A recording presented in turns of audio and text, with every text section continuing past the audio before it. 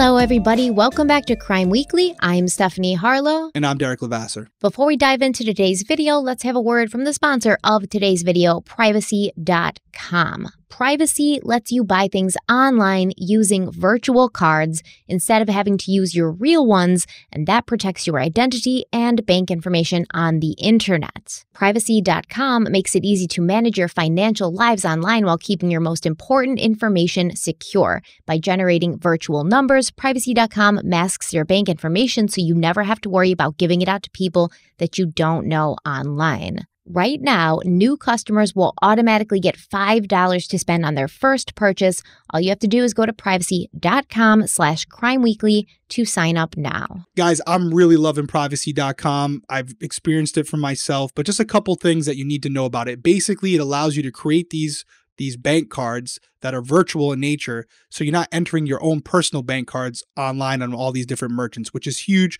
We know how often they're getting hacked and you're, ha- you're constantly having to change cards. So just a couple quick things. You can freeze and unfreeze these cards, set spending limits per charge per month or per year. You can stop using the same card number everywhere. Refunds work even if the card is closed or paused. Um, these virtual cards are locked to a merchant, so you don't have to worry about changing your card everywhere if one gets hacked huge.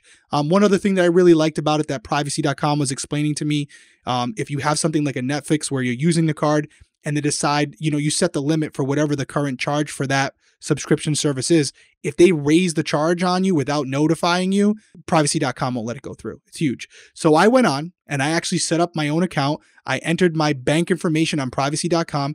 I created a virtual card. I tried it, worked amazing, but I want you guys to try it. So, and I'm very confident with it. This number I'm about to give you, which is on the screen right now, is the credit card number, the expiration date, and the security code. So, the first person to see this, I want you to go on, buy yourself something nice. You got 50 bucks. So, 50 bucks from Stephanie and I to you. Go use the card. And by the way, a lot of you are going to try it. And what's going to happen is after the first person uses the 50, it's going to deny you and you're not going to get access to my personal bank account, which is attached to it. So trust me, if I didn't believe in it, I wouldn't do that right now. I'm taking a big risk here. Privacy.com, don't let me down. So, unfortunately, only one of you are going to get the $50, but that doesn't mean you shouldn't sign up for privacy.com. And there is still a little special gift for our listeners. So, head on over to privacy.com slash crime weekly and sign up for an account. New customers will automatically get $5 to spend on your first purchase. Once again, go to privacy.com slash crime weekly and sign up now. We want to thank privacy.com for sponsoring this week's episode let's dive into the case. So today we're finishing up the case that we've been working on for this is our third week. This is the final part. Now, before we dive back in, Derrick, you want to say something? Yeah, absolutely. We're we're trying to change things constantly for you guys to make it a better experience. So you're going to see a change this week. Um, yes, you just heard the sponsored video, um, but we're also going to have host ad reads in here. So we already do it on audio. It's going to be on video as well. There'll be anywhere from three to five host read ads in the two hours. That's pretty good. And the reason we're doing that is we're getting rid of uh, Google monetization. So those skippable ads that some of you have been complaining about, you're seeing them about every 10 minutes. You're not going to see those anymore. Yeah, we don't want to depend on them. Yeah, we don't want to depend on them, and we don't want you guys having to skip it if you're kind of stepping away. It's going to be the host red ads. We we strongly implore you guys to support them, by the way, because they're supporting us. They're they're the ones that allow us to do this. So try not to look at it as a burden because they they actually are a benefit to us. And so we hope that you see that as well. But again, changing it up for the Patreon people, nothing changes for you. It's still going to be a couple days early, no ads in yours as well. But for the people who are just watching on YouTube regularly, you will not have monetization anymore. You will just see you just hear and see the host read ad. So uh, three to five per episode. Yeah, and today we only have four altogether right? Right. And that's because we have a YouTube sponsor, which you just saw. Um, in the future, there won't even be a sponsored video. It'll just be four, hopefully three to five ad reads, depending on how many we're able to get. That helps support the channel. It helps us grow, helps us get better equipment, and it should make it less of an, a, an inconvenience for you guys if you step away from the iPad or computer or whatever you're watching on. And I think it's more fun to watch us do the ads than to have random ads pop up. Let's hope so. I think I, we made the decision together. It was a it was a big decision, by the way, to do that, and we're doing it because we think it's going to be better for you guys. It's better for us, and we're hoping that you guys like it, you know? Like a couple, it was stressful like a couple months back when we were having real big issues with YouTube monetization. And then, you know, it, That's you never problem. know. And then we have to like the video's going up late because we're depending on on Google to approve the video. And without that, we're much more free. We can put things out on time. We don't have to worry about it. And it's just easier for us. And we hope a better experience for you. Yeah, and, and to be completely transparent, you may see an ad before the video starts, and that's only because our YouTube uh, queen over here, Stephanie, it, it understands that if we turn off monetization completely, they won't recommend us. It puts it puts us out of the algorithm. Yeah. So we'll have the one pre-roll in there that you'll see, hopefully. But even if for some reason they don't approve us, we're not going to let that hold up the video coming No. out. You're going to get it on time. Like Stephanie said, we're taking back control. We had problems with them numerous times by eliminating the monetization. We don't need their approval. We have the host ad reads baked right in there. So you're getting the content on time. Take that, Susan with Wojcicki. Don't, please, don't blackball us. I wasn't talking to you. All right. that was our little a little house cleaning thing because you're going to see a difference this week.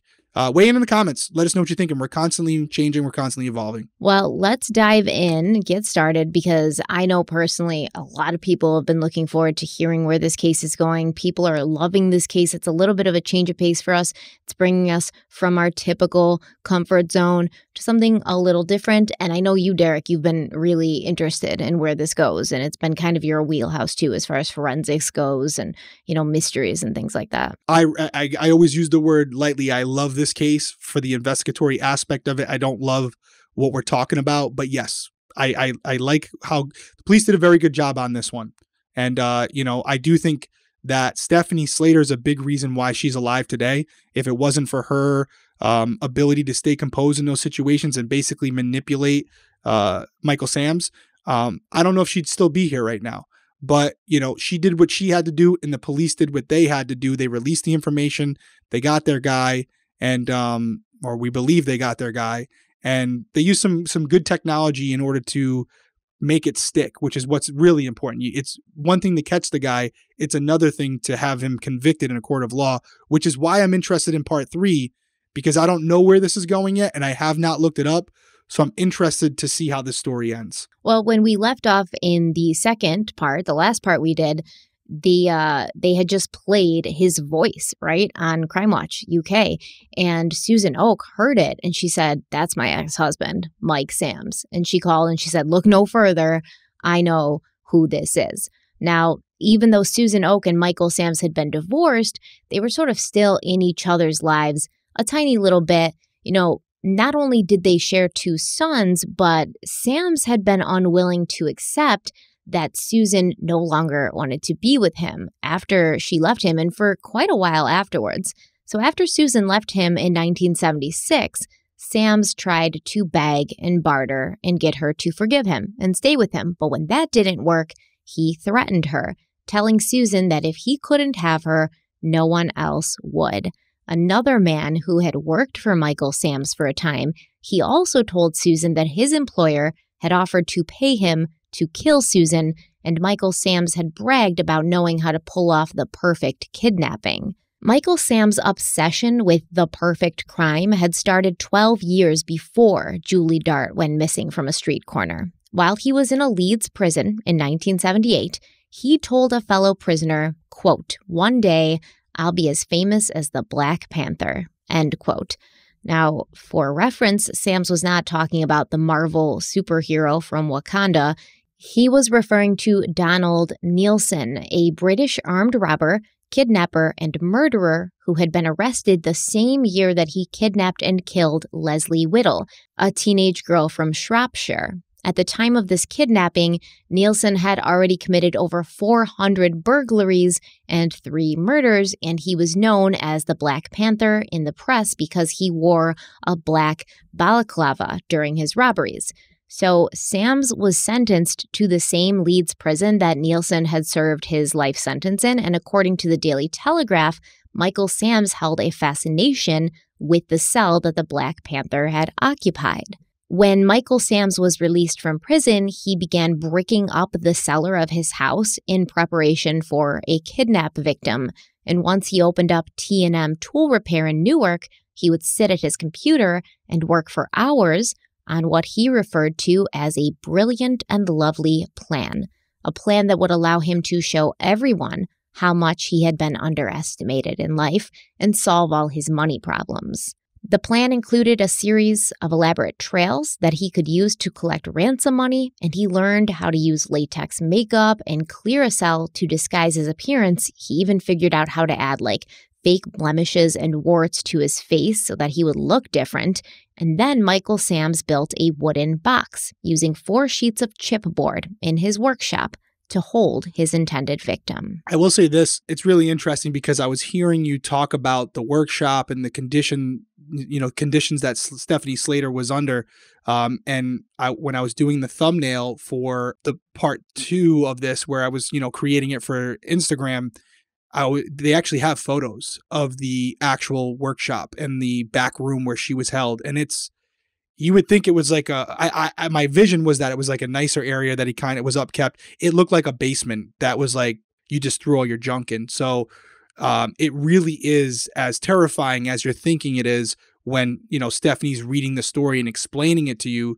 Um, so if you haven't seen that already and you're listening on audio, hop on over to our YouTube channel just to check out those photos because there's some really good photos in there of both the workshop and the back room where Stephanie Slater was held. And I'm assuming we haven't got there yet, um, I don't want to take away anything, but I'm assuming Julie had been held there as well. Yeah, and I don't know if you're if you're going to be able to tell me from like looking at the pictures, but I was digging really deep into old newspaper clips on newspapers.com, um, and it seemed like there wasn't actually a legitimate back room. It seemed like it was like one big workshop, and he sort of like hung a curtain up to separate the front of the workshop where he served customers from the back of the workshop where he would, you know, use like use it as basically like a, a storage area. And that's where he kept these two girls. So there literally didn't seem to be a lot between the workshop and the back area. And that was the reason why he had initially decided to build the box because he didn't really have like an enclosed space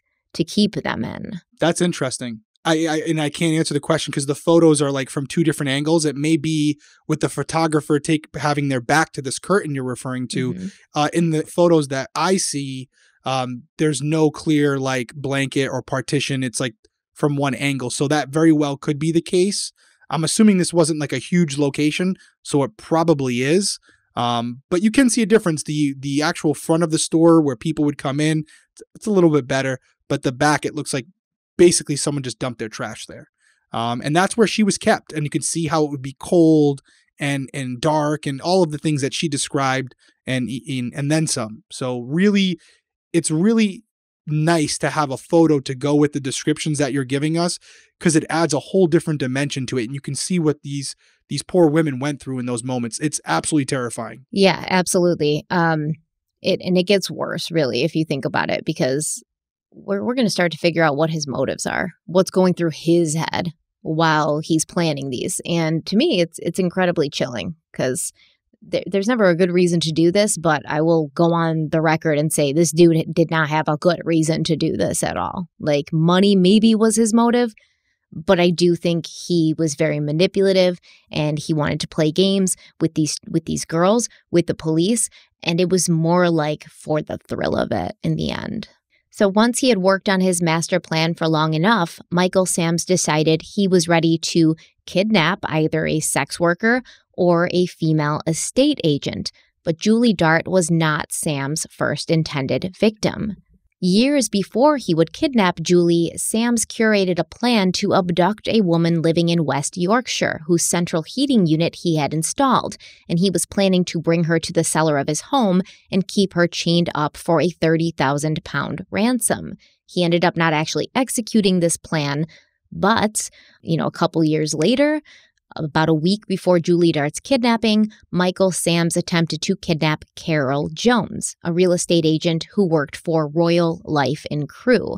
Sams had been hoping to do to Carol Jones what he would later do to Stephanie Slater, you know, have her show him around the house and ambush her when her back was turned. But as he was waiting for Carol to arrive, there was like a builder who was building a house on that same street. And the builder, like, kind of walked up to him and began chatting with him. And he was like, You don't want to buy this house. This house is already built. I'm building a brand new house over here. Wouldn't you rather buy this house? And as this was happening, Carol Jones arrived with another woman that she was training, and Sams had to call the plan off, obviously because Carol wasn't alone. And also, he said he was afraid that this builder who just wouldn't stop talking to him would later identify him. Yeah, and, and, that so that there was some luck there with having this witness, right, that he identified, but it was something we said last episode without me even knowing this, you know, for people going to locations whether it's a real estate transaction or going to meet friends, whatever it may be, you should always try to go with someone else in this day and age because that just that small factor is in most cases going to be enough for the offender to call off whatever they're planning because now there's another person that can connect them to the crime and also it's another person that they have to control. So imagine if Stephanie Slater was with a colleague and Stephanie goes into the bathroom and the other colleague's downstairs. Well, Michael Sams can't do what he's planning on doing because the other person's going to be able to escape. So little things like that can give you an advantage. And yeah, most cases you're not going to need it, but it's better to be safe than sorry. Yeah, I agree. And you know, Carol did say later like, you know, that's that's stunning, right? To find out that this man who ended up doing this to not just one other woman, but two other women and you were like one of his intended victims and for some streak of luck you managed to not not have to be in that situation. I can't even imagine the kind of close call that that you would feel that you'd had. And she said she thinks that builder saved her life. I, I would agree with that and i'll say this that's a really scary thought. You me people watching and listening to this there are people out here right now i guarantee it that were very close this close if you're seeing my fingers to being a victim of a crime just like this. Damn. And for whatever reason, maybe you were with someone else, maybe a friend was behind you, maybe your husband or wife walked up right when they were about to do it. This person didn't decide to act because of something you did without even knowing you were doing it. Just the way you were conducting yourself that didn't present that opportunity. You'll never know it, but I guarantee you some of the you out there um, were very close to having something like this happen, but it never did because of your actions or because the actions of the people with you. That's the scary thing. Yeah, thank thank you. That's very scary. I already didn't want to leave my house and now I feel like I want to even less. Thank you so much. I want to scare you. Yeah. I care about you. I care you I care about everybody out there. No joke. If that's if that does that for you where now you're a little bit more paranoid when you go out, I'm fine with it. And you should be too, because. Do you think I could be a little bit more paranoid than I already am? No, I'm, you definitely couldn't. I'm straight up agoraphobic now. no, no, you're you're the exception, but I know there are people out there that might think twice because I maybe scared them a little bit. I'm happy for it. If it helps protect you and makes you safer when you go out on your own and you decide to park closer to the front door or, you know, take your headphones out when you're walking to your car, I'll, I'll own that all day long. If it protects you, then it's worth it. Thank you, Derrick. No, yeah, I mean, thank you for you know taking care of yourselves. I don't want you guys to end up on the other end of the spectrum. I hope that we all continue on this journey and none of you have to experience something like Stephanie Slater did because you know it changes her forever. As you see with the videos, if you're watching on YouTube, it's something that stays with you. And even though she survived, he took a piece of her that she'll never get back. And she's out there speaking about it because she's strong and she wants everyone out there to learn from it. That's why she's doing it. Yeah. So we don't let her be the example to teach you so that you don't have to experience it yourself. Absolutely, I agree. I agree 100% with that. And I appreciate people who who go through these situations where they become victims where they have the the bravery to speak out about it and even sometimes expose themselves to public scrutiny because you know there's these idiots out there who will be like well you know you shouldn't have Morons. gone there alone say stupid shit all the time and it's like this person's putting themselves out there to help others so they have the bravery to do that even after all they've been through. Couldn't agree more. So the morning after Susan Oak called the police and identified her ex husband as the voice heard on the Crime Watch UK program, the police went to Michael Sam's tool repair shop and they entered, hearing the bell above the door tinkling as they walked in, and they caught strains of music floating through the shop, coming from a radio that was tuned to BBC Radio 2. Michael Sams emerged from behind a curtain and said, quote, I've been expecting you. What is it you want? End quote. So obviously it's funny. I, I think it's funny. It, he, it shows he's playing games right up until the end, right? I've been expecting you. What is it that you want? It's like two contradicting statements. Why would you be expecting them if you don't know what they want?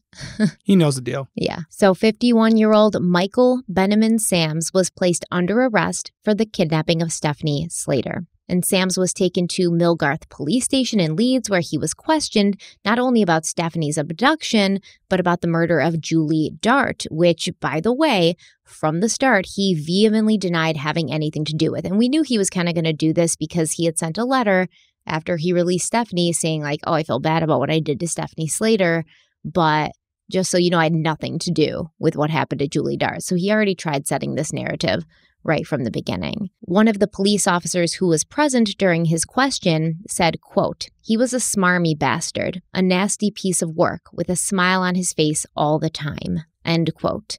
While he was being guarded, a young police officer asked what he was in jail for, and Sams responded, quote, suspicion of kidnapping and murder. Didn't you watch Crime Watch last night? End quote. When the police officer asked if Sams was referring to the kidnapping of Stephanie Slater, Sams responded, Yes, the evidence is in the workshop. I didn't do the murder. I don't know how they've linked the two. End quote. what are you talking about? You don't know how they linked the two? He's crazy. So later, you know, to the station sergeant, Sams said, quote, I've done the kidnapping. I've not done the murder. I promised Stephanie that she'd go home, and she did. End quote. Sams also claimed that he'd been frustrated when Shipways had sent a female real estate agent to the Turnberry Road address because he felt he would have become less emotionally attached to a male hostage. Sams also denied being involved with the extortion attempt on British Rail, and Sam's wife, Tina, remember Tina? She was also interviewed by the police, and she visited her husband while he waited for his trial in prison. She visited him quite a lot, and the first time she visited him, she went in and she said that Sams collapsed into her arms and dissolved into tears. Tina told the Sunday Mirror, quote, Both of us cried as soon as we set eyes on each other. We just couldn't stop and kept hugging each other. End quote.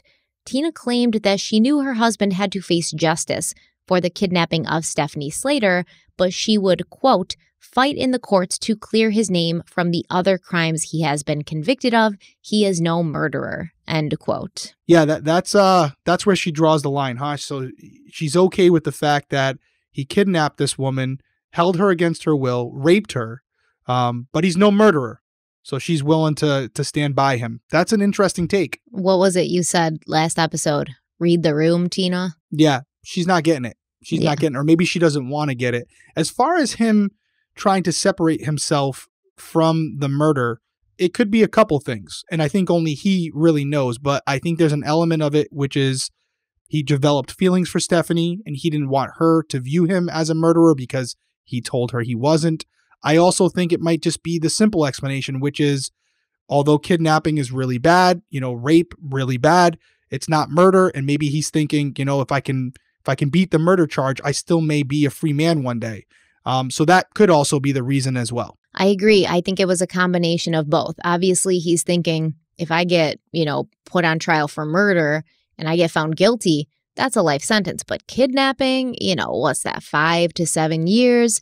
And also, he had told Stephanie Slater that he never murdered anybody and he didn't want her to look at him that way. I think there was some emotional attachment there. I mean, just him saying, I was mad they sent a female because I wouldn't have gotten emotionally attached to a male shows that he had some emotional attachment. Yeah, I agree. A red Metro car that was parked nearby Sam's Newark tool shop at the time of his arrest was also taken into custody and forensically searched. And Sam's ex wife, Susan Oak, remembered that he'd been driving that car when she'd seen him at the funeral of his father just, I believe, the week prior. And during that time, she said he was acting really odd and she'd asked him, you know, can I get a lift home? And he'd refused to give her a ride home in that car when she had asked. We're going to take a quick break and we'll be right back.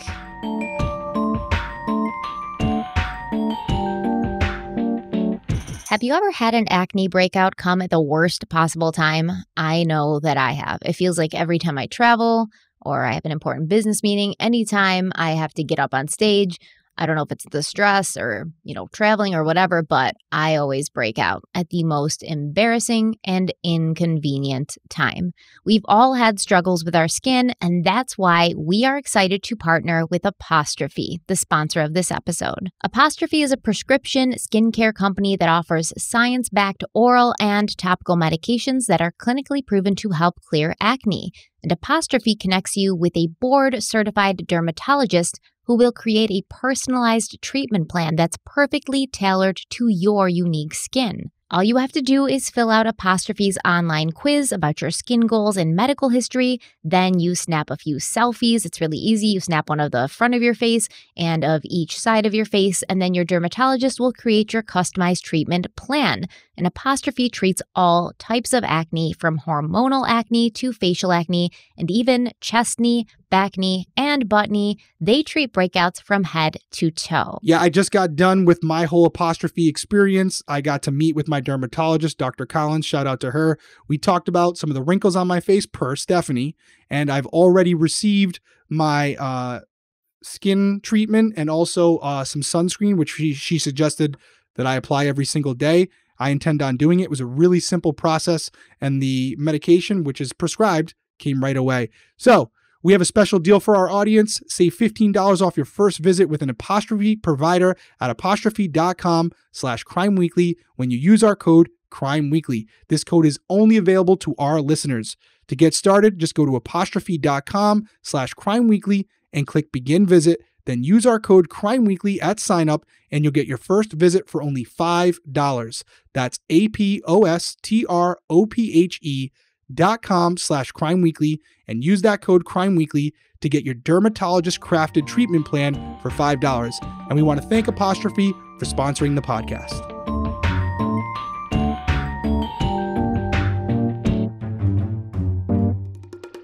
Police descended on Michael Sam's workshop in Newark, where they pulled up floorboards and ripped away plaster walls in their hunt for evidence. In the workshop, investigators found 19,000 pounds of the ransom money. It was wrapped in plastic and he'd had it stored in the workshop, but they didn't find the rest of the money. They would soon. They also located the place where Stephanie Slater had been held captive for over a week. It was a custom built timber box, and he had built it inside a wheelie bin that had been turned on its side. So basically, this, this garbage can was turned on his side and he, you know, purposely had built the box inside of the garbage can so that, you know, he would have a place to keep these girls. Because, like I said, I don't believe there was a secure place in the workshop where he could like close and lock a door. If they got out of the wheelie bin, they would have been kind of roaming around the open shop. Inside, they found several strands of Stephanie Slater's hair, as well as a number of other hairs that appeared to have been chemically treated and dyed, but they did not belong to Stephanie, so the assumption was that these hairs were Julie Dart's. Also, on a curtain located in the workshop, a blood stain was found, but it was diluted, and it looked as if someone had tried to clean the stain with water. Because it had been so badly diluted, Forensic specialists were not able to build a full DNA profile, but the blood type matched that of 18 year old Julie Dart. There were also brown nylon fibers collected from the floor of the workshop, and these were tested, and they matched the fibers that were found in the sheets that Julie's body had been wrapped in. And then they found Michael Sam's computer. And among other things on the computer, they discovered a Word document going over the account of Sam's picking up a young prostitute who referred to herself as Julie D. Now, Sam's wrote that this young woman had chatted with him a bit. You know, he he says he purposely picked her up to have sex with her. They were talking a little bit in the car, and she told him that she had a boyfriend whose name began with the letters D and O, but then she stopped herself before giving Sam's the full name of her boyfriend. Sam's claimed that while he and Julie were having sex, he noticed that she had bruises all over her body. And after the transaction was completed, Julie gave him like a business card with her name on it. It said Julie D. And she was like, Listen, I'll be around if you ever want to get together again. I usually get dropped off in that area like after 11. Just let me know. And then Michael Sam's claim he like dropped her back off where he picked her up and, you know, saw her get into another car. Now, in my opinion, just like that um, that little, you know, kind of Easter egg or that little hint, that breadcrumb he had dropped with the piece of paper that had something written on it. And then they had to detect the impression. It was like, hey, somebody, Dolores, I'm not coming in until later, like let people know. I think this was just a red herring. This was something to distract the police because he knew he was going to build the narrative that, yeah, I saw Julie, I had sex with her, but I'm not responsible for her murder. I think the fact that he is even putting himself in that area and and, and admitting to an, an, an uh, interaction with Julie is a huge mistake. We had said it on a few a few episodes ago where you're interrogating someone and they say, "Hey, listen, I had nothing to do with that person's murder." Um, your first goal as an interrogator is to get them to admit to at least seeing them, right? Put them at the scene of the crime, put them in the car, put them in the house, wherever it occurred, so that now you can narrow down the scope of their interactions with your victim. Once they do that, then you can chip away at that. But you just want to get them to admit that they had some type of interaction with that victim. And he's doing that for them with ver- very little force through this letter. So he's already putting himself at the scene of the crime with a victim, a murder victim, that now they can chip away at that narrative that he dropped her off. And the way they're going to do that is by the forensic evidence you laid out. Because if it's true and he dropped her off, then you wouldn't have any of her hair or blood or anything like that connecting her to the workshop because according to his statement, she never went back there. So you use that against him. At first, you say, as the investigator, okay, so you're admitting that you met Julie Dart that night and that you guys had sex. We believe you, no problem. However, here's the problem, Michael. We found her hair at your house. Even if they can't de- forensically match it, he doesn't need to know that. Hey, we found her hair at your house and we found her blood. So we want to believe you, Michael. But how did that get there? Can you explain that for us? And then he's going to have to create another lie to say, oh, you know what? She was there, but then after we had sex, I brought it back. And he's basically tightening the rope around his own neck. He doesn't, he thinks he's helping himself, but he's really not. And so he's given them a few a huge up here by even acknowledging that he had an encounter with Julie Dart that night because they know the rest of the story. They know that she was dead um, before she ever came back from seeing Michael. They just got to connect the dots to evidence, which it looks like they're going to be able to do uh, in this case pretty easily. I think he was thinking ahead, thinking for a possible trial, thinking about reasonable doubt. They found her hair in my house. Well, I could say her hair was on me and that's how it got there. Her DNA was on me and that's how it got there. He probably didn't have a super good understanding of that, but he when he was hanging out in the box. Who knows? He he did say idiot. he got in the box, right? It's true. It's true. but he knows that there's probably forensic evidence on him in his car in his workshop that ties him to Julie Dart. He's saying he didn't kill her. He's got to figure out a way to explain how it got there. And that's the only way he can. What else can he do? If he denies knowing her or having seen her at all, then they've really got him, right? Yeah. No, it's uh, either way, he's in trouble. I could, by the plethora of things you've already laid out, uh, Michael's going to have some problems. Well, on this same vein of investigation, the police paid a visit to Michael Sam's defunct tool repair workshop in Cambridgeshire. And so remember, he had a tool repair workshop before he had one in Newark. And, you know, they went to the old one that was now closed. And it was there that they discovered several of those unique blue clay bricks that had been collected during the Julie Dart investigation. If you remember, he was taping clues and notes to these bricks. 130,000 pounds of the 170,000 pounds paid to Michael Samson ransom was found by a team of special police officers, and all of that money was hidden within a two mile radius of where Julie Dart's body had been left, hidden in two places beside the main East Coast Railway line in Stoke Summit, an area that Sams had admitted to the police that he'd gone to watch trains in the days before his arrest, and they found this money plastic wrapped, stuck inside of Black and Decker bags and buried. Yeah, this is great. Obviously, the money is from Stephanie Slater's kidnapping, but yes. what is important is what you said. It's putting him in the area of Julie Dart's body where she was found. So he's frequented that area in the past. Coincidence? I guess it's possible, but you try to explain that to a jury. You try to explain that in, in, in this entire place, you decided to store the ransom money from your second victim at a location that was similar to your to the first victim. Good luck with that one. Right. And this is all by like railway lines and stuff. And, you know, he's got his little. It's all with his MO. Yeah. He's got his little railroad badge and his model train and his railroad paraphernalia. So exactly, it's it's giving him this sort of pattern of behavior. Right. It puts him on a location that's a private area, right? Didn't you say that farm, that area was like, well, how many miles was it? Acres was it? It was a ton. It was huge. Um, he doesn't own it. So why is he there? You know? You explain that one, Michael. During the trial, Michael Sams told the court that although he took full responsibility for Stephanie Slater's kidnapping and he felt terrible about it, he had not been responsible for the kidnapping and murder of Julie Dart, but he knew who had done it, a friend of his who he refused to name. According to Sams, this friend had seen his detailed plan for committing the perfect crime, and the friend had thought it was brilliant. So he asked Michael Sams to write out some ransom letters that were dictated to him by this guy. So now Michael Sams is trying to show the police, like, yeah, I guess these ransom letters are in my handwriting, but I only wrote them because my friend asked me to write them.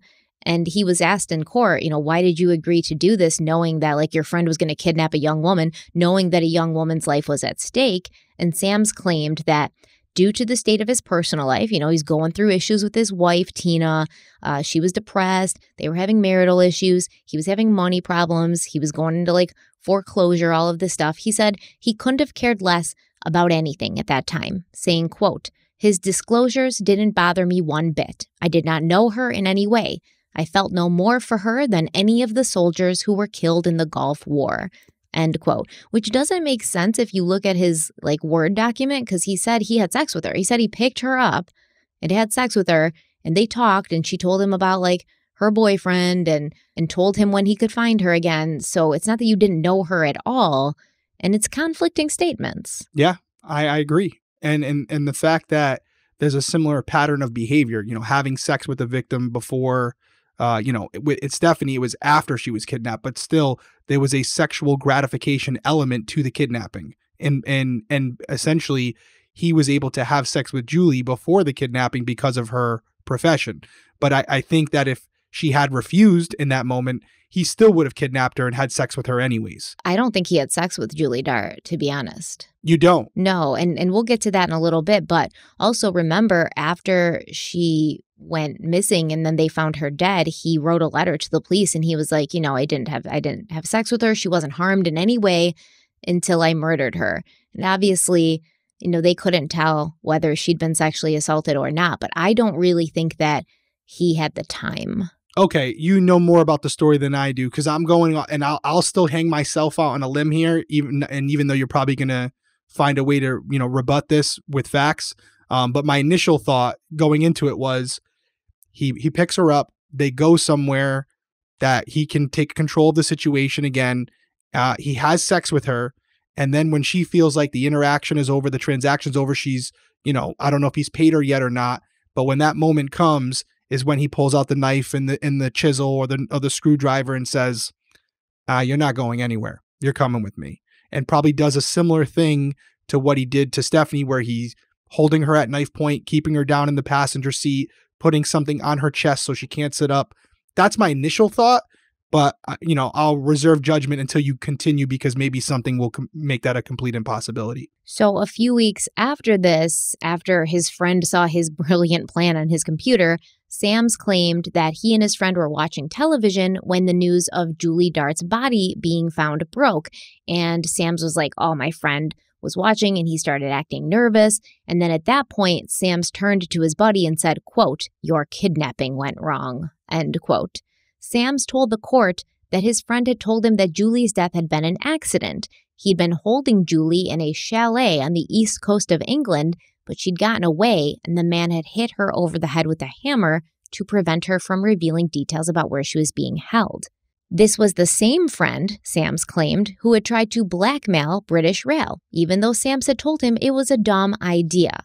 Sam's friend and accomplice went on to help with the ransom of Stephanie Slater, driving Sams to the railway station where Stephanie's manager, Kevin Watts, had been first directed to go. He then left Sams there with a moped, like a little scooter, so that Sams could follow along with Kevin Watts until he had successfully taken possession of the ransom money, at which point Sams was then picked up by his friend again.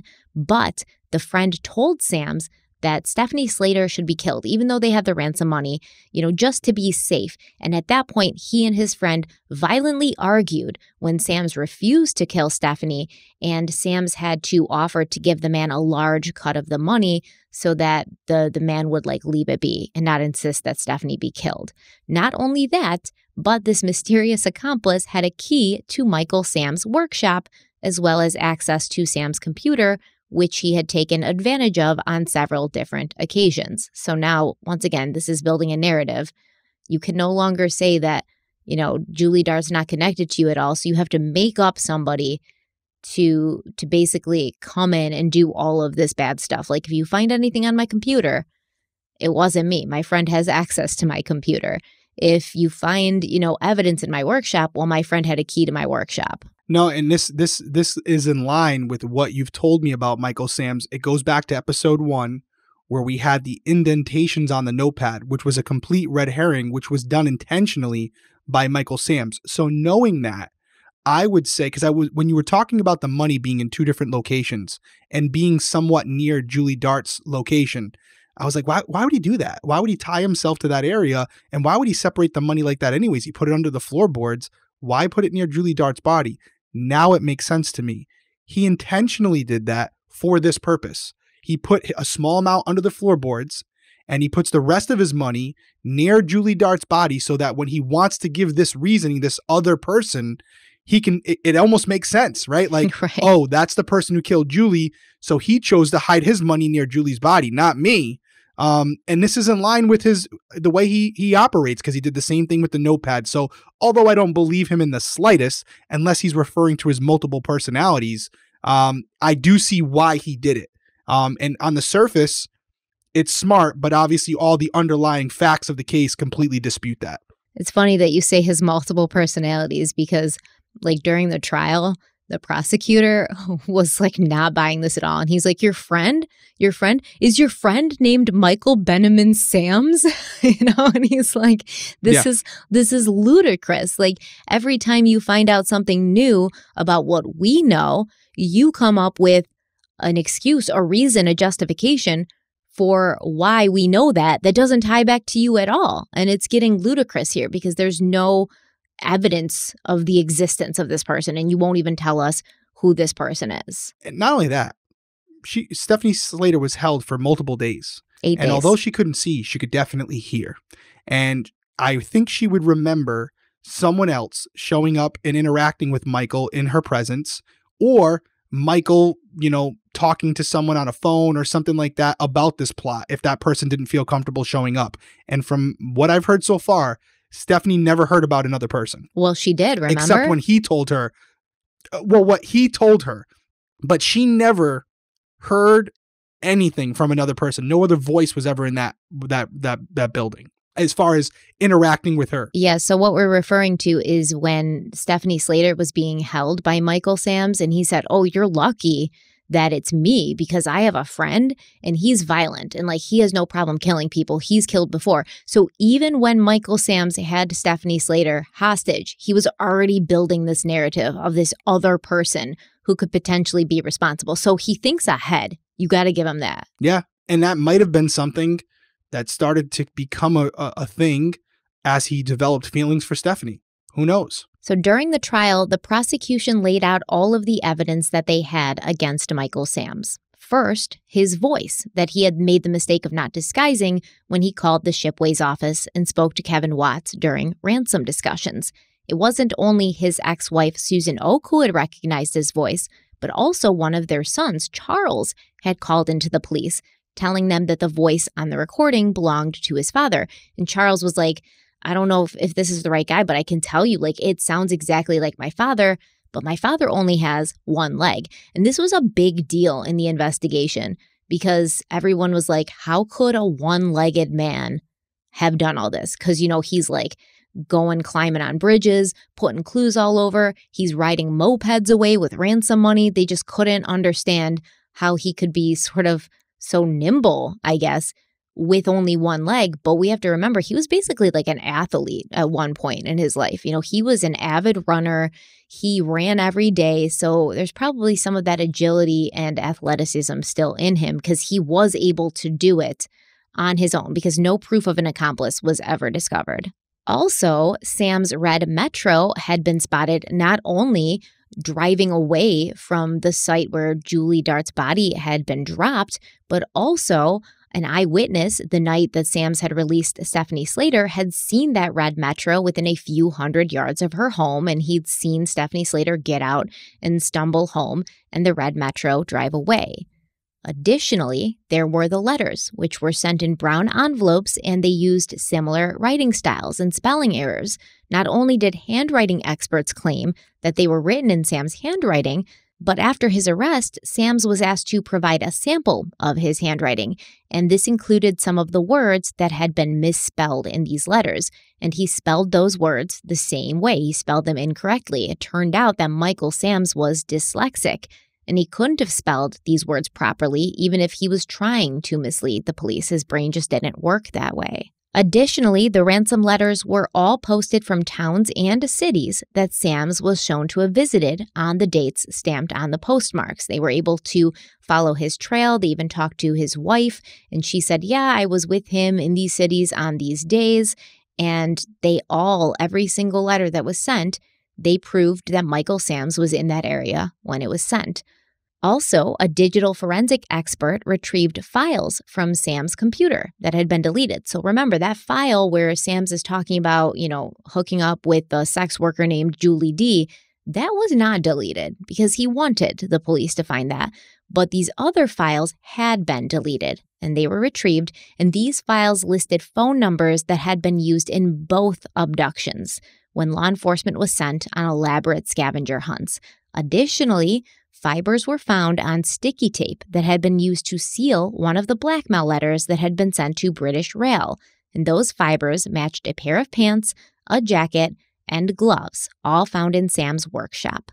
The blood found on the curtain in Sam's workshop, it did match the blood type of Julie Dart, and it was a rare blood type, a blood type that Michael Sams didn't have, his wife Tina didn't have, and his other victim, Stephanie Slater, didn't have. So basically, they're trying to rule out people who could have been in that workshop and been a contributor of that blood.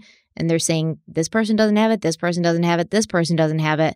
So we can only assume that it was Julie Dart because who else would be in the back room of your workshop bleeding on the curtains? Yeah, they're painting a picture, right? As we said earlier, you know, he writes this letter on his computer and says that he did have an interaction with this victim, Julie Dart. They did have sex, according to him. So he's putting himself at the scene of the crime that night. Um, but according to him, that's where the truth deviates and he dropped her off and nothing happened.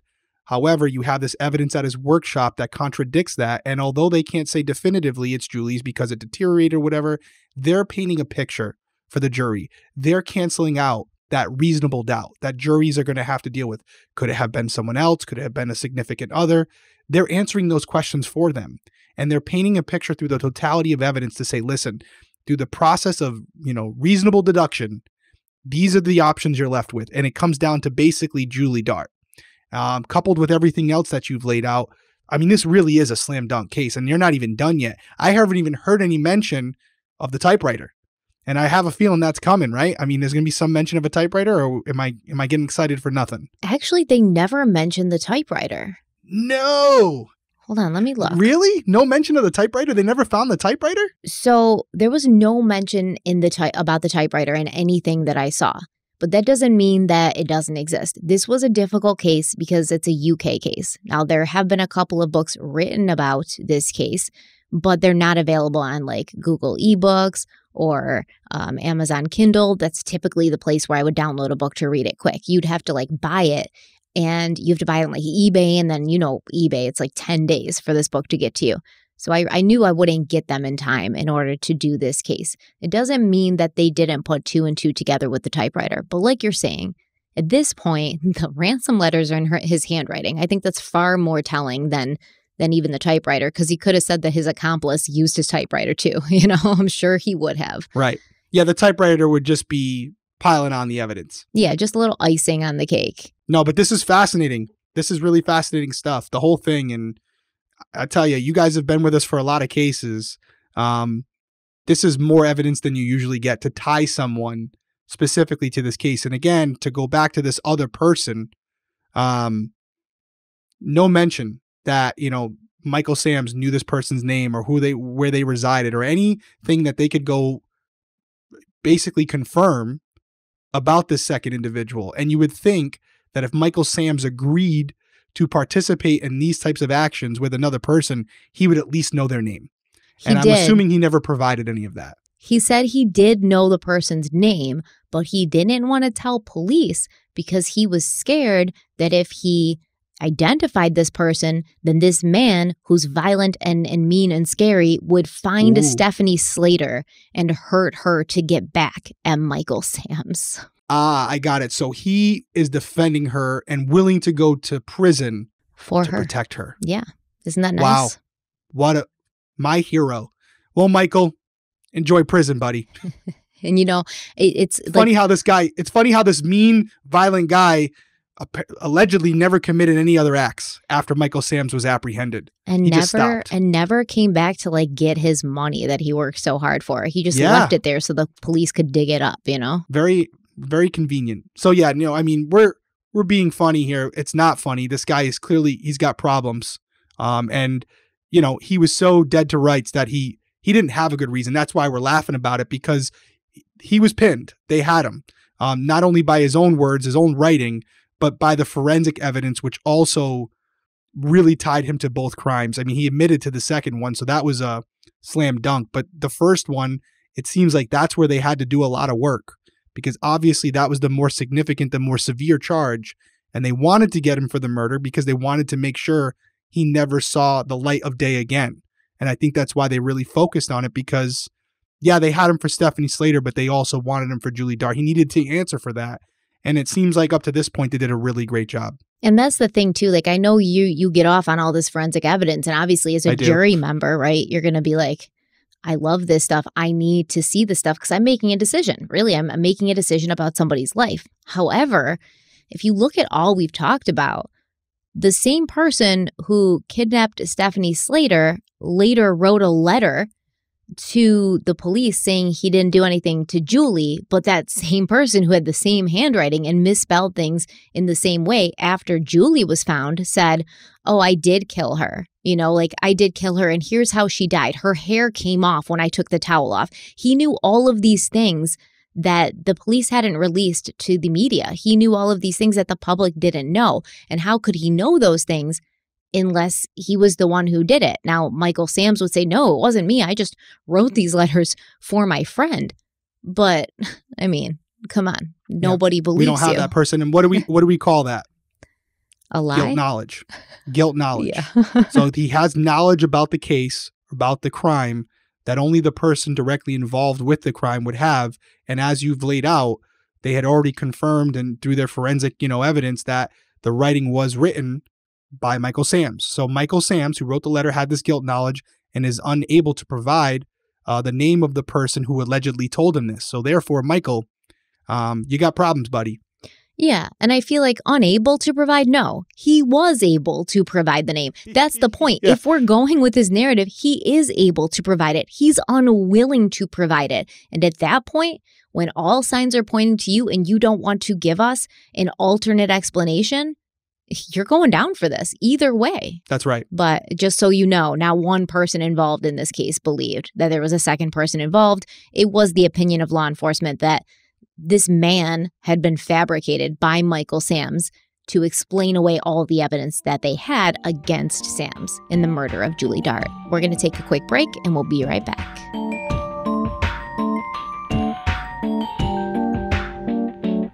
So let's take a moment and talk about Thrive Cosmetics. Some of you are listening on audio, some of you are watching on video, but if you're watching on video, you will see I have the Thrive Cosmetics Brilliant Eye Brighteners on every single time because I use them every single day. Thrive Cosmetics is high performing beauty and skincare products made with clean, skin loving ingredients, no parabens, no sulfates or phthalates, certified 100% vegan and cruelty free. And cause is in the name for a reason. Every purchase supports organizations that help women thrive, and that's very important to us here at Crime Weekly. As I said in the opening, I love the Brilliant Eye Brighteners. I use them every day. It's my favorite product right now. I have Emma on. It's a very nice, like warm coppery color.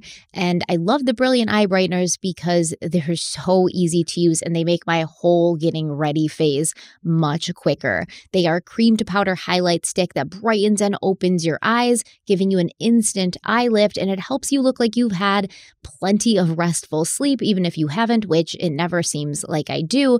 And the Brilliant Eye Brighteners, they give the perfect wash of color and glow and a vibrant, well rested look in 13 shimmering shades. Muna is another one of my favorites. Um, they're, they're all really good. I like the white one. There's a white one that's really great for under the brow line. They're beautiful, but I also love their skincare products. In fact, right now, I've been using the Overnight Sensation Brightening Sleep Mask. I use that three times a week, and in that is a potent skin loving formula that restores, hydrates, and rejuvenates your skin skin overnight. It's antioxidant packed, spa inspired overnight mask for smoother, brighter, more hydrated skin. And with this cooling and brightening face mask, radiant skin is just a night's sleep away. It's so important to put something like heavy and emollient on at night before you go to sleep because that's when your skin's soaking everything in and you wake up once again looking well rested even if you haven't been. And as I talked about, Thrive Cosmetics does donate to women in need with their bigger than beauty mission. For every product purchased, Thrive Cosmetics donates to help women thrive. And these are women emerging from homelessness, surviving domestic abuse, fighting cancer, and more. So we really love Thrive Cosmetics. We think you will as well. And Derrick's going to tell you how you can try them for yourself. Right. Now is a great time to try Thrive Cosmetics for yourself. Right now, you can get 15% off your first order when you visit thrivecausemetics.com slash crime weekly. That's Thrive Causemetics, C A U S E M E T I C S dot com slash crime weekly for 15% off your first order. Check them out, guys.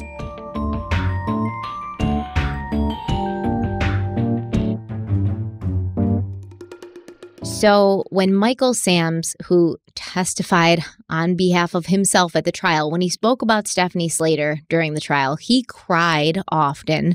You know, he was just crying and tears just streaming down his face on the on the witness stand, and he expressed his regret for what he had done to her. He also marveled at how calm she had remained, speculating that he saw signs of Stockholm syndrome in Stephanie, but a testifying detective believed it was the other way around, claiming that Sams had probably fallen in love with Stephanie or he wanted to demonstrate a man's control over a woman. In my opinion, probably a little bit of both because for people like Michael Sams, love is confused with control and possession. Like somebody like Michael Sams probably doesn't know what love really is. And when you're looking at somebody like Julie Dart, who who we're going to talk about later, she's she's kind of like um she's a, a little bit of a fighter. You know, she's a little bit of a wild card. She was very claustrophobic. She would have been freaked out when she got put in that box, and she most likely would have fought a lot harder about being put in this box than maybe Stephanie did because Stephanie realized pretty early on, like, the only way I'm getting out of here is to go along. So I think Michael Sams probably felt that he loved Stephanie because she was passive, because she appeased him, because she went along with what he wanted. Someone like Michael Sams is not going to fall in love with a woman who pushes back or questions him. And so it's not really love, you know, at that point. It's just you are convenient to me in this moment. Yeah. And I'll weigh in on it more near when we get to Julie, but I agree with everything you said. I think Stephanie definitely saved her own life. I think the plan was to kill her, no doubt about it. And it was her own behavior, her own actions that resulted in her survival. The police did not know where she was. They were not going to get to her in time. Sorry, as as as good as they were doing, as hard as they were trying, uh, he was going to kill her, and there was nothing they were going to be able to do about it. The only reason Stephanie Slater is able to talk to us today is because of what Stephanie Slater did. It's that simple. And I can tell you, I'm incredibly claustrophobic. Incredibly. Like, uh, with a fear of my life claustrophobic and if somebody had tried to put me into a tiny box i would have fought like a wildcat and and he probably would have taken me out yeah yeah, would have had to have killed you just to stop you from screaming so that he wouldn't be found out by the people coming into absolutely. Yeah. I wouldn't have been able to stop. I wouldn't have been able to calm myself down because when you have a fear like that, there's no like talking yourself out of it, you know? Yeah. No, I, I can't even imagine. In a diary that Sams had written while he was in jail, he said, quote, Always, before putting her back in the box, I stood opposite her and put my hands on her shoulders or cheeks and promised her she would be okay and unharmed. But on one occasion, she suddenly put her arms around me and hugged me for a while. When she put her arms down, she went back in the box without either of us speaking. I could tell she was choked. End quote. And what he means, like, she was choked, he means like she was touched, like she was feeling something. He doesn't mean like she was choked, like he was choking her. He, she was touched. She she felt something sentimental in that moment for him. When Michael Sams found out that Stephanie Slater may be writing a book about her ordeal, he said he wanted to send her his diary to help with her writing, stating that his account might, quote, contain serious discrepancies from her account, which could take some explaining if she initially was subconsciously trying to protect me due to the enforced friendship that had built up between us, end quote he's clearly like delusional. Um, he he's delusional. In fact, I think he may almost be delusional to the point where he's convinced himself that this other accomplice does exist because he was able to convince himself that Stephanie Slater actually felt something real towards him. He's not over here like I'm her captor. She has no other choice but to go along with what I what I want her to do.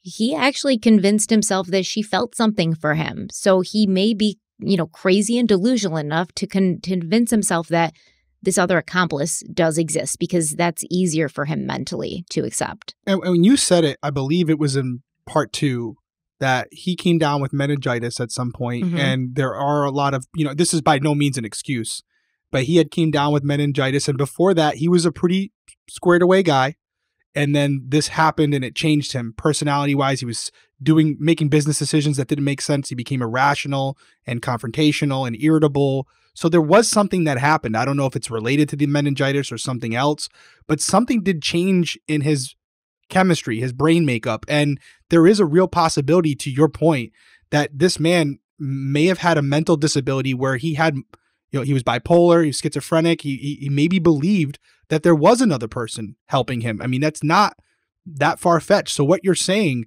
could absolutely be true. Again, no excuse, but could there could be some some actual truth to what you're saying. It's certainly not an excuse, but it does provide context because for Michael Sams, in my opinion, it was a lot of things that sort of happened. Like his life was great and then it started going downhill and it never stopped, right? he he he gets um, meningitis and then all of a sudden things are changing he's not doing well mentally and then his wife leaves him because of that his the mother of his children so now he doesn't have his wife he doesn't have his kids now he gets into crime he's hanging out with the wrong people he's stealing a car and he's going to prison for 9 months and in in prison he they find out he has cancer in his leg they got to cut his leg off this guy was a runner he was an athlete so that's going to be incredibly depressing now he gets out of prison he's in and out of different relationships and all he's dealing with is money troubles after money troubles after money troubles and then he's with his you know most current wife her son Paul dies suddenly. She's suddenly depressed. All the burden is on him. Once again, this isn't an excuse because people go through this stuff every day, all of this and more. Yet you can understand he was in a pressure cooker at some point. That's a lot for somebody on top of thinking that the meningitis may have caused some mental disturbances. And now you're adding all of these these life pressures on top of that. Yeah, so someone a normal person would have trouble handling these situations. Now put it someone who's chemically imbalanced and probably needs to be on medication for what they're going through and and, and now they're dealing with these things. So it could definitely be a contributor. So it's just interesting to think that when he's saying these things, because you brought it up, that there could be some truth that he actually does believe there's another person involved um, in his own brain. Sort of like a fight club thing, you know? Right. I don't know if I believe it. I'm throwing it out there, you know, to to bring it up. I still think that, you know, the fact that he made the indentations on the notepad and these other things, I, I think he was more put together than he wants people to believe. Um, but I'm just throwing it out there. Don't come for me in the comments. I don't necessarily believe it myself. I think he was aware of what he was doing. But if someone was able to prove to me that it was a split personality type thing, it wouldn't shock me. That's all I'm saying. Yeah, I agree with you. So during the trial, the prosecution revealed for the jury what they believed had happened to Julie Dart based on the evidence that had been collected during the investigation. It seemed that Michael Sams had installed a passive infrared detector in his workshop. And this was an actual device. This wasn't one of his fake wooden devices that he painted silver to look like an actual device. This was a real um, infrared detector, and this device would sense any movement. He had also geofenced the area around the workshop with an alarm, essentially meaning that if anyone or anything went over this invisible barrier, it would notify him. Both the sensor and the alarm were attached to Michael Sams' home number. So if anything happened, if anything went off, it would ring him at home. Police believed that Julie Dart, who suffered from asthma and was extremely claustrophobic, she had tried to escape, and Sams, who was notified of her movement, he drove to the workshop and he murdered her because at that point she'd seen too much. I mean, obviously, once she gets out of the box, she may remove her blindfold if she can. I don't know how if her hands were tied or anything like that, but she'd be able to alert law enforcement to where she'd been held. And this was his place of business. So it's not even like he can detach himself from this place. Now, it wouldn't be long before the police and the world had actual confirmation of this theory. So, Michael Sams was found guilty on all charges, including the murder of Julie Dart and the extortion of British Rail. He was sentenced to four life sentences, and he was sent to Full Sutton Prison in Yorkshire. After the jury had reached their verdict, which they did, I believe, in under four hours, so they were pretty convinced as well, the judge had addressed Michael Sams, saying, quote, you are an extremely dangerous and evil man. The jury has convicted you of murder, a murder in cold blood. You deliberately strangled Julie Dart and beat her to death when your kidnapping went wrong because she saw more than she should. You tried to turn her death to your advantage. You were heartless at the grief you had caused. It was misplaced pride and callous arrogance. End quote. So, four days after his conviction, Michael Sams said, you know, he wanted to speak to the lead detective, Bob Taylor. So apparently, Sams had seen a picture of Julie Dart's burial site on the news, and he was bothered that her headstone showed the incorrect date of her death. Since he was already behind bars for life, Michael Sams felt he could now tell the police what had really happened to 18 year old Julie Dart so that Julie's mother could have closure. According to Sams' confession, he said he'd picked Julie up on Tuesday, July 9th, 1991, just after 11:30 p.m. At some point while they were in the car, Julie had leaned forward to take her shoes off, at which point Sams placed a rope formed into a noose around her neck and then he drove her to his Newark workshop. Julie was stripped naked and tied to a chair, at which point Sams made her write a ransom letter that would later be delivered to her boyfriend, Dominic. After this was completed, Julie was placed inside of a box that was placed inside of that wheelie bin. But in the early hours of the next evening, Julie had fought her way out of this box. And this set off the emotion alarm, and this alerted Sams to her movements around 6 p.m. on the evening of July 10th. So when Sams got this notification, he jumped into his red Metro, he raced to his workshop, and he found Julie disoriented, but, you know, in the process of trying to escape. So he used a hammer to knock her out, and then he strangled her until she was dead. Julie Dart had been dead within less than 24 hours of her abduction, but Sams was the only person who knew this, so he continued to dangle the hope of her safe return in order to extort the police. All right, so this clears up some things, right? First off, we were talking about this split personality possibility well, that puts that to rest right here, right? He clearly remembers what happened. I will say this I think there's the majority of this is truthful, but based on how he treated the sexual interaction, the rape with Stephanie Slater, and the fact that to this day he still, uh, you know, we're almost done with the script. You know, he said it was consensual. I feel like he omitted somewhere in there having sex with Julie Dart. I feel like something in his mind, murder's okay, but having sex, you know, against their will, that's like that crosses the line, which is why he said what he said. So, um, not that it matters at this point. I still feel like something in there he's leaving out as far as taking advantage of Julie Dart, who, as we know, was a sex worker. So it's not too far fetched. But for some reason, he he he doesn't want that to be part of his story. Um, again, doesn't mean much now where we're looking at it, but I think it's important to point out because this guy's a monster and he deserves to be called out as one. And I definitely think there was a sexual element to it, and he's choosing to leave that out on purpose, uh, just like he chose to contort the story of Stephanie Slater and say, "Oh no." You know, basically 48 hours, bef- you know, within the kidnapping, she was willing to have sex with me. Not only that, but like in love with him. Right. Yeah, it makes no sense. And the fact that Julie's not here to contradict his story, he can say whatever he wants and we can't go back and confirm it or discredit it. Yeah, and it's interesting because you know, there's times like like we said last episode where it's like is this guy human? Does he have some humanity in him? You know, he wants Julie Dart's mother to know the day that she died for closure. In my opinion, he doesn't care about Julie's mother getting closure. It's this way that he keeps getting attention and accolades. In his mind, he said he was going to be more famous than the Black Panther, a criminal. And this is his way of doing it. He can't sit here and keep saying, It wasn't me, it wasn't me. How's he going to get his fame now that he's in prison for life, right? It doesn't matter at this point. He can tell them what happened, and it just adds to his uh, resume, I suppose. I think you're right on.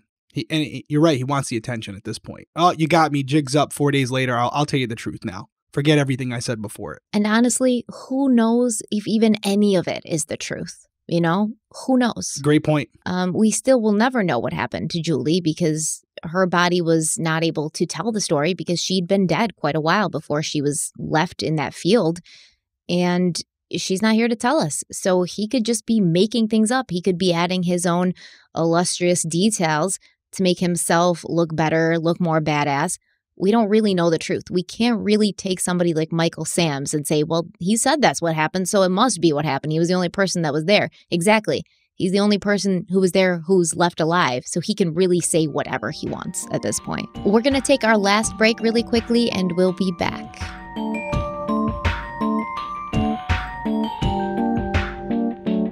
These days, it feels like every show I watch is a copy of something else you can almost quote the next line before they say it. And this is absolutely true. I actually do it all the time. But that doesn't happen when I watch Acorn TV, the best place to get shows from Britain, Ireland, Australia, and beyond. Everything I watch feels new and original, and there's something new to discover every week. Acorn TV is the largest commercial free British streaming service that features compelling stories, exclusive premieres, and originals you won't find anywhere else. And Acorn TV has hundreds of exclusive shows from around the world, including award winning mysteries, dramas, comedies, history, and so much more. The series that you find on Acorn TV are cleverly written, visually striking, and feature renowned actors and hosts like David Tennant and Mary Berry. What I've been watching recently is Conviction, the case of Stephen Lawrence. It's an Acorn TV original, a miniseries that premiered on 221, so February 21st, last month, and it's based on a true story. On April 22nd, 1993, 18 year old Stephen Lawrence was murdered in an unprovoked racist attack 13 years later, Detective Chief Inspector Clive Driscoll, who's played by Steve Coogan, he reopens the case on a mission to bring peace to Stephen's parents and justice to the perpetrators. You get thousands of hours of new enthralling content on Acorn TV for a fraction of the cost compared to most streaming services at just $5.99 a month. That is a deal. I really do love Acorn TV. I've talked about how how much I love the BBC and I love British television far better than American television. Like the British version of Being Human was so much better than the American version. So I am loving Acorn TV. And if you want to try it out for yourself, Derrick's going to tell you how. For original shows from Britain and beyond, Acorn TV has them all. You're going to love it just like we do. Try Acorn TV for free for 30 days by going to acorn.tv and use our promo code Crime Weekly. But you have to enter the code in all lowercase letters. That's A C O R N dot TV, promo code Crime Weekly to get your first 30 days for free. One more time, that's acorn.tv, code Crime Weekly.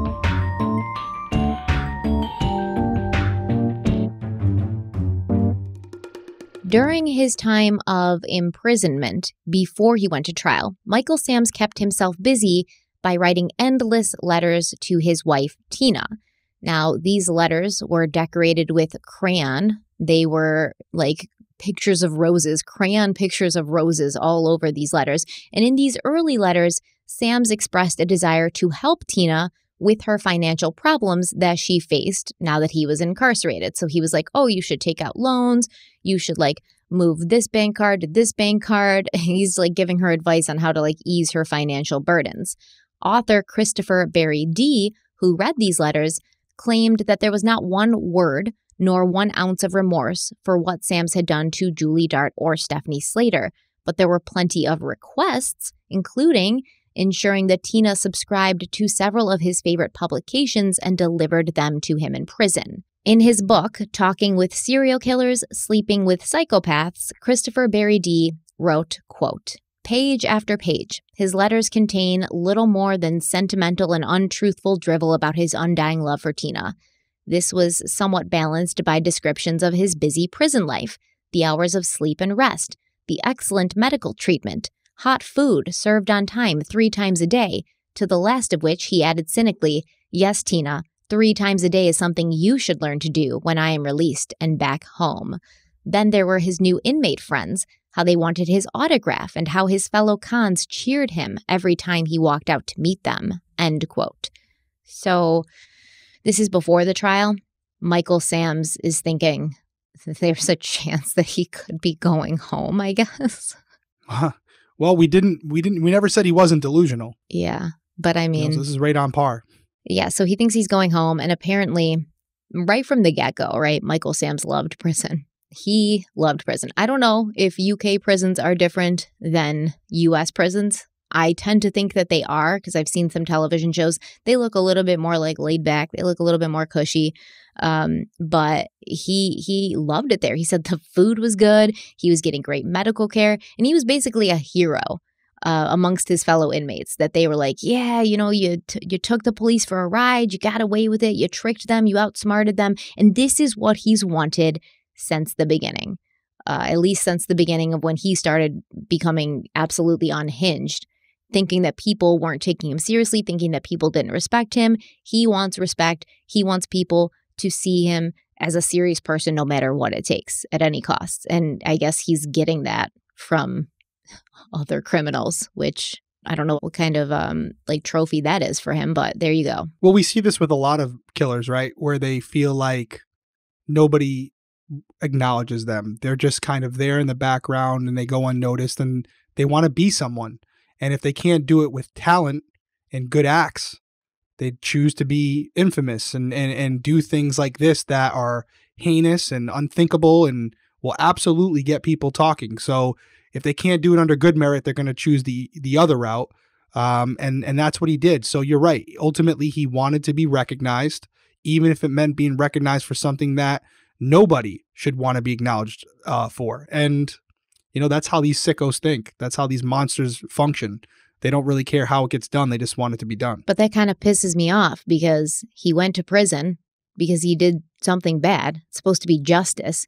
And here he is. He's having the time of his life and he's getting fed three square meals a day. He's got a comfortable bed. He's got like all this medical care. He's over here like, you know, a god amongst his fellow prisoners. It seems like he actually bettered his circumstances when going to prison. And that's kind of that's kind of messed up, right? It's a tough pill to swallow. And there and there probably is a little truth to it. I've had these conversations before about prisons and the luxuries that they have, especially in like the minimum security prisons where they've committed crimes against victims and yet they got cable TV, good meals, medical, like everything you just said, dental.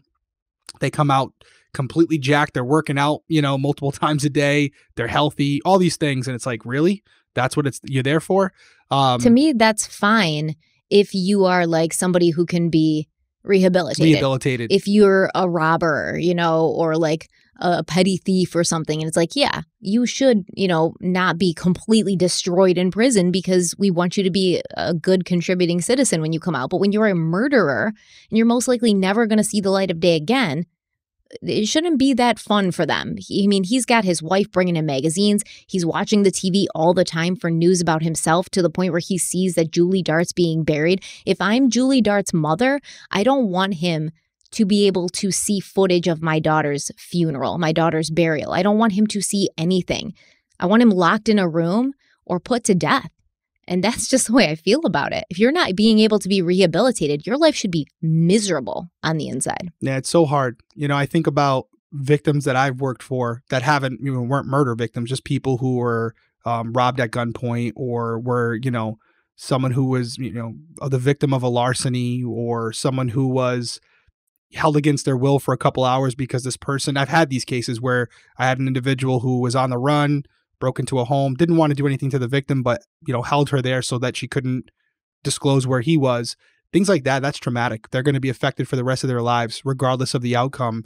And I think about those individuals who, yeah, th- there's reform, there's re- rehabilitation there, but what about the victim? You know, and it's like there is no perfect system because you're right. If this person is going to be released back into the public, you want them to come out better than the way they went in. So I don't know what the answer is, but I always and I'm biased in that sense. I've never denied that to you guys. You know, as the cop who's fighting for the victim, I don't really give a shit about the other person, I, and I probably should. And that's just that's just the cloth that I'm cut from.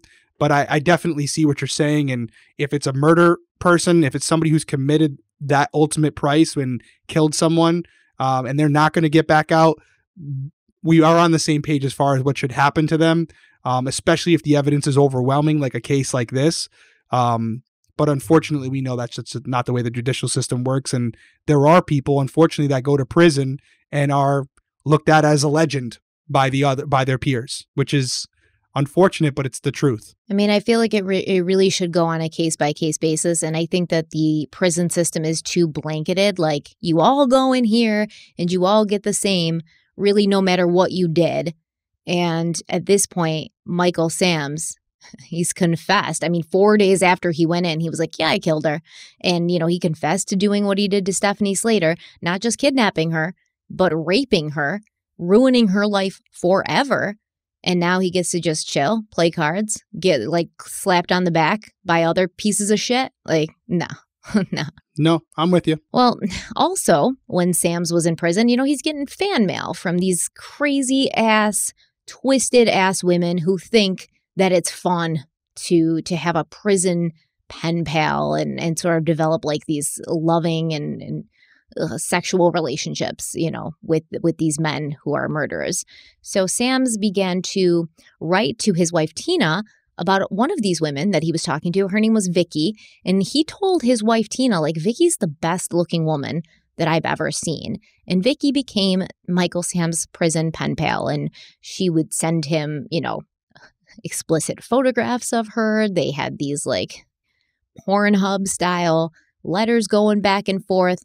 And Vicky would even visit Sams in the prison where they would have conjugal visits.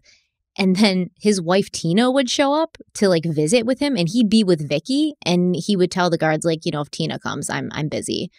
So disgusting. Now, Vicky, she talked to Christopher Berry-Dee, the writer, and she referred to Michael Sams as Hot Mike. And she said that while Sams was behind bars, he was treated like a prison overlord. And Michael Sams felt that his days in prison had been the happiest of his life. After the trial and his conviction, the letters that Sams was sending his wife Tina changed. In these letters, Sams admitted that he had always planned on allowing Stephanie Slater to live, but he'd also always planned on killing Julie Dart. There was never a chance that Julie Dart could have escaped, even once she freed herself from that box, because she was locked inside of his workshop. Now, due to this information, the police believed that Michael Sams had used Julie Dart as a dry run, a dress rehearsal to the plot that he believed would actually get him his ransom money. Julie Dart was a sex worker. She was a nobody. She wouldn't be missed. She was expendable. She's not going to bring in this huge ransom. That's his thought process, not mine. And that was why he never actually followed through on retrieving the ransom. He'd just been trying to see if it would work. And you remember in the early days when he claimed he had Julie, he had these police officers go to the phones and he said i'll call you at this time and he wouldn't call or you know the the police officer would pick up the phone and he wouldn't be there or they would go to like the next clue and there was nothing there things like that all of this stuff that wasn't really adding up and a lot of the people in the comments from part one, they were like, why wasn't he answering the phone? Why wasn't he there when he said he would be? This is why. He didn't really care about getting a ransom at that point. He didn't really care about getting Julie Dart home safely. He was just trying it out to see how it would go, to see if he could actually convince people to run his gambit to to make this happen for him. Right, it's intelligence gathering, right? He's he's he's watching the behaviors and the responses of law enforcement so that he can make adjustments for the real thing. And he's using this as a form of documenting their response times, how receptive they are to his demands, their tactics when they perform the actions that he requests so that he can make minor, you know, technical adjustments to how he carries it out so that he won't be apprehended. Um, that's sad to think that Julie was used as basically a, a dry run, you know, as you described it, um, because her life mattered, regardless of what you think about uh, her chosen profession, what she was going through. It doesn't. She doesn't deserve this. Nobody deserves this. And to think that he was willing to use her and dispose of her like that, it just adds to the to my already distasteful opinion of of Michael Sams and how much of a scumbag he really is. And I hope by the end of the story you tell me he, something happened to him in prison, but we'll see. I'm just waiting to get there. No, man, nothing happens to him in prison. Dude, nothing happens okay, let's to just him. end this episode. He does. I, I'm only waiting around for that part where he gets shanked in prison. He does these horrible things. He gets the notoriety that he wants, and then he lives the happiest days of his life in prison. Yeah, no. Not what I was expecting, Stephanie. But he does more. He does more in prison, okay? So in 1995, okay. Michael Sams met with 52 year old Julia Flack in a converted cell where she was seeing prisoners to discuss their issues. So Julia was like a probation officer, and Michael Sams was like always complaining about everything. Even though he's like, this prison's awesome, he also has complaints out the ass. So she's like, well, come in and, and we'll talk about this and see if we can't make life easier for you. So Julia said that when Sams walked in, he was smiling and good natured. But within minutes, he was holding a 12 inch metal spike, telling her that if she touched the alarm, she would be dead. Julia did try to reach the alarm, but Sams physically overpowered her and tried to strangle her with a length of cream sewing tape that he had stolen from the prison workshop. Luckily, another prisoner heard Julia's screams and rushed in to save her. For this attack, Sams was charged with false imprisonment, and eight more years were added to his sentence, which I'm sure he was happy about. During the trial, Sams claimed he had taken Julia hostage to draw attention to his poor treatment at Wakefield Prison, including an incident where the prison had lost his fake leg, for which he won 4,000 pounds in damages, by the way. Because once they, they figured out, like, yeah, we lost it, it was our fault, they awarded him 4,000 pounds in damages for that. And he had also brought a civil suit against the prison claiming his bed was too hard. The balls on this guy, the balls. And this is what happens when you treat murderers like actual people. Because, in my opinion, once you've taken a life willingly, knowingly, you're not a human anymore and you don't deserve any human rights. That's just my opinion. I'm sorry. I'm still upset that there's not a different ending to this. No, man, he has a great yeah, life. We'll keep, we'll, we'll keep going. Now, Stephanie Slater's life did not go back to normal, not after her release, not after her kidnapper and rapist's conviction. In 1995, she told The Independent that she was also serving a life sentence. She wasn't sleeping due to her bad dreams, she couldn't bear to be alone in a room, and she had separated herself from the girl who had been kidnapped, raped, and held hostage for eight days. In her interview, she said, quote, The only similarity I have with her now is the name. That's the only thing we share. There's nothing left of Stephanie Slater in me. She died just after I was released. She was such a strong character. She was very pretty, and I'm not.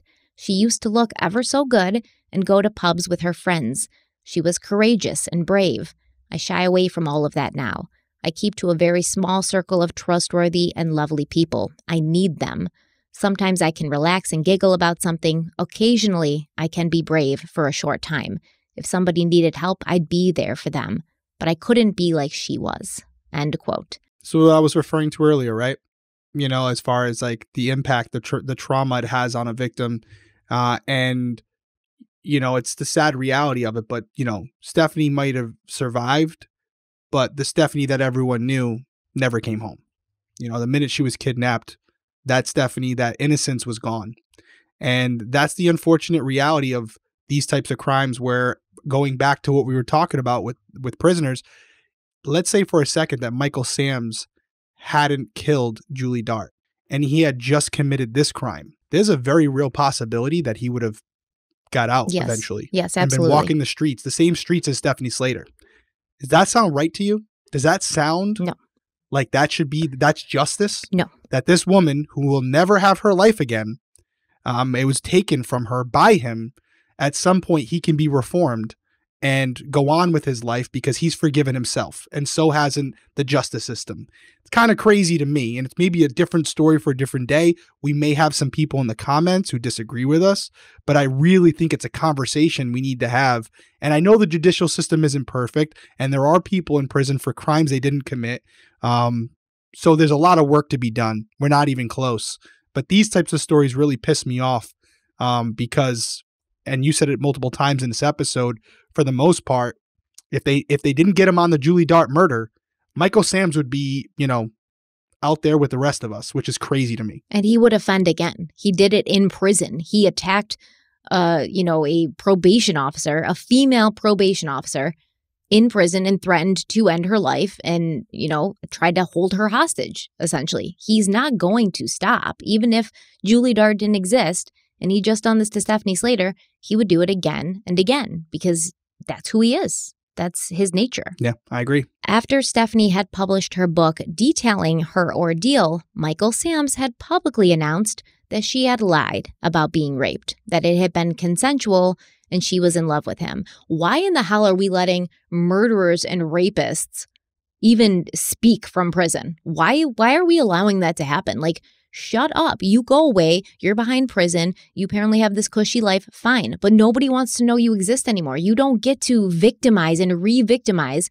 Stephanie any longer with your words, with your presence, with your existence. Why are we letting them just talk? I have no, I got no, uh, no dispute there. I com- complete with you wholeheartedly. I don't, I don't know. I don't get it. Why is he even allowed to read the book? Oh, he's he can read anything. He can watch TV. He can do whatever he wants. He's I know that there should be. I mean, well, to when Stephanie heard this, she said, quote, when I heard he said we had a love affair, I had a sort of breakdown. I started crying and shaking. It was like being raped all over again. My conscience is clear. I've never been a liar. People realize what kind of person he is. The man is evil through and through. He lied throughout the court case. He's saying this because he craves attention. End quote. I agree. Why is he allowed to get this attention? Now, before being kidnapped, we talked about it. Stephanie had this great job that she loved, that she was good at. She'd been dating a man that she thought she was going to marry. But after this happened, um, you know, her relationship soon fizzled out. Obviously, she was a different person. Um, obviously, this this man probably didn't know how to to deal with it. He didn't know how to do what was best for her, and you know, they broke up. She tried to return to her job, but she quit after three days because she was experiencing crippling panic attacks. Stephanie changed her name to Phoenix Rhiannon and moved with a close friend of hers to the Isle of Wight, a place she had enjoyed visiting as a child. As the years passed and Stephanie was interviewed by different media publications, a few things remained constant. She said she didn't think she would ever get married or have children. Initially, she thought she'd like to find someone who could provide a place of safety for her, but as she got older, she realized that this ship had probably sailed. She said she wasn't distrustful of men in general, wasn't like that, but she just didn't know how much she had to give to anyone. In 2017, after a long battle with cancer, Stephanie Slater passed away. I believe she was about 50 years old. ITV News correspondent Keith Wilkinson had spent a lot of time with Stephanie while he was making a documentary about her story in the 90s, and he said, quote, Stephanie never got over what she went through. She suffered with terrible nightmares, great trauma. She lived in fear that one day Sams would be released on parole. She had a lot of backaches and blamed this on the awful pains she felt during her abduction. I was very upset when I heard Stephanie was seriously ill. The last time I saw her on the Isle of Wight to do some filming a few years ago, she was quite upbeat and positive. She could sometimes be hysterically funny and had many passions.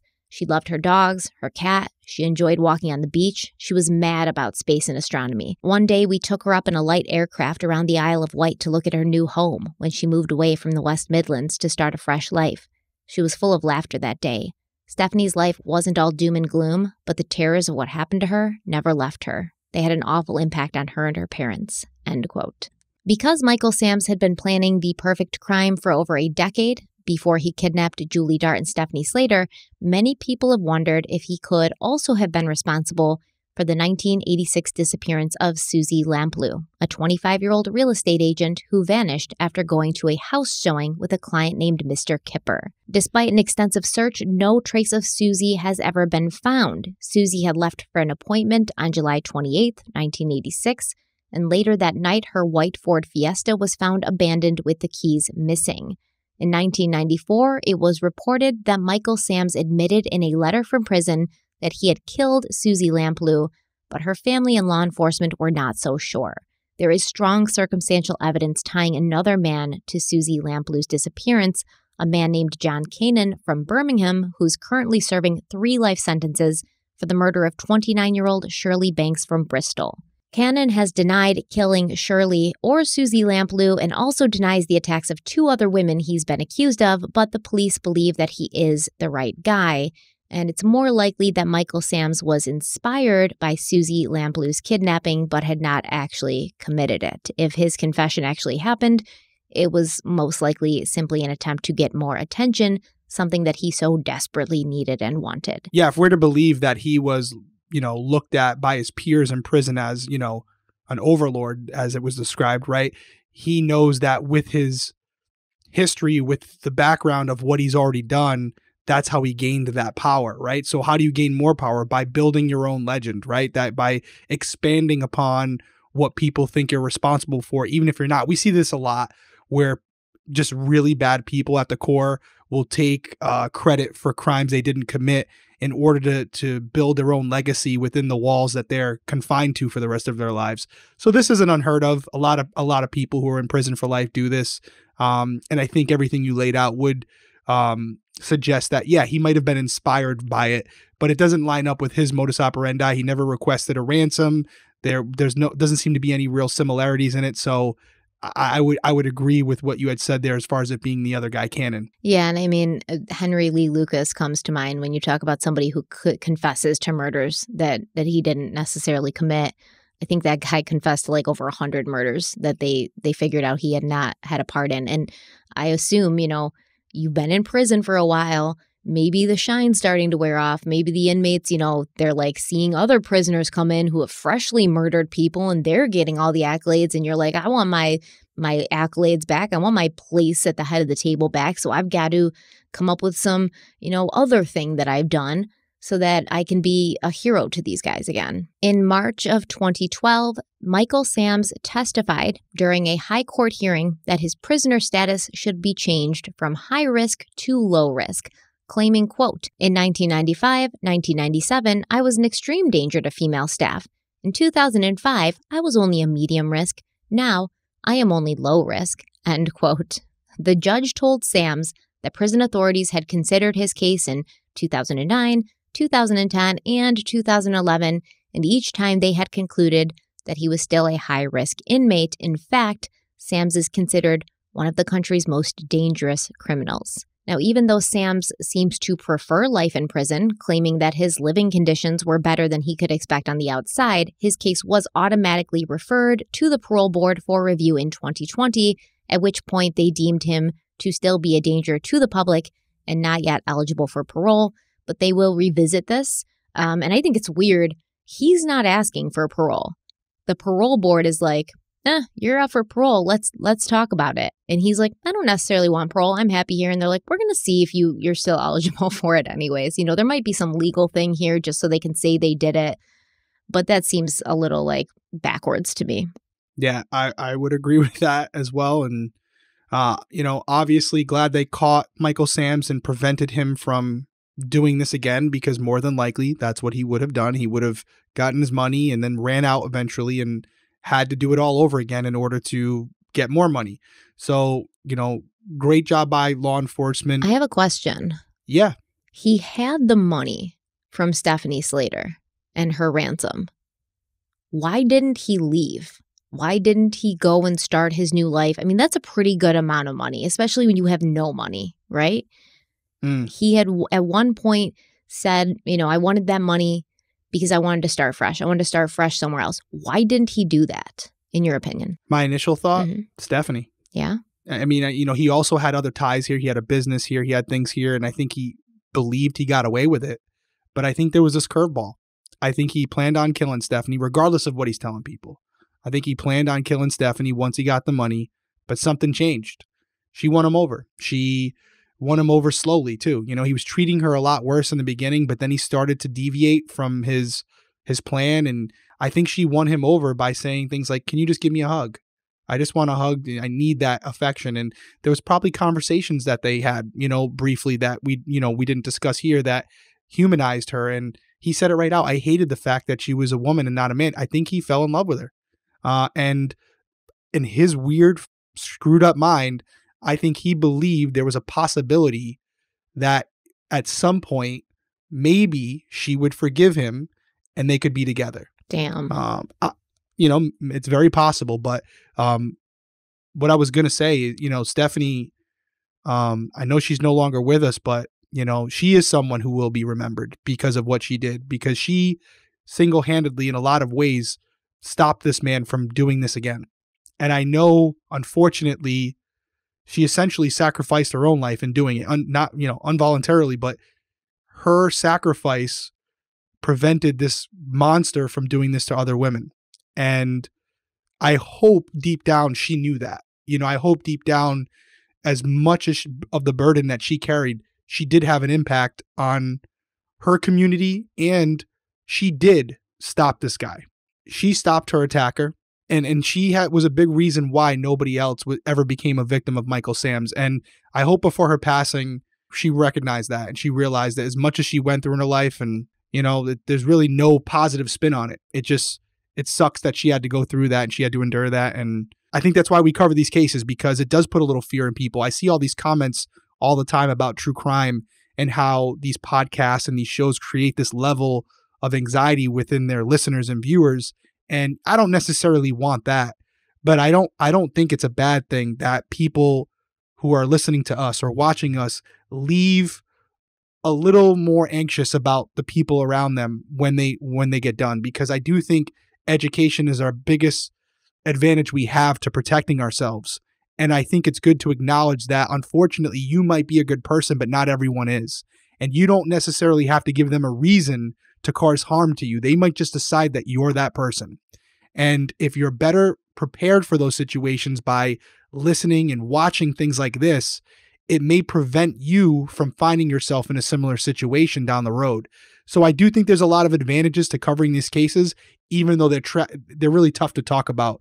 Because as much as we have an ending to this story, we don't have justice, so to speak. You know what I mean? Because Stephanie never got her life back. Yeah, I agree. I think the only happy ending that we have here is the fact that, you know, he was apprehended and he was put away. We don't have this this sense of that, you know, justice was done, that he's paying for this. He's clearly not paying for this. In a way, he sort of got what he wanted, but the best that we can say is that he was taken out of society and he won't do this to anyone else. But in the process, because of that justice, because to protect the rest of us from him, both Julie and Stephanie lost their lives. And that's, I think that's too high a price to pay, honestly. Uh, that's absolutely, absolutely. Really sad story, guys. I hope you take something from it because I'm sure you're all feeling the same way we are.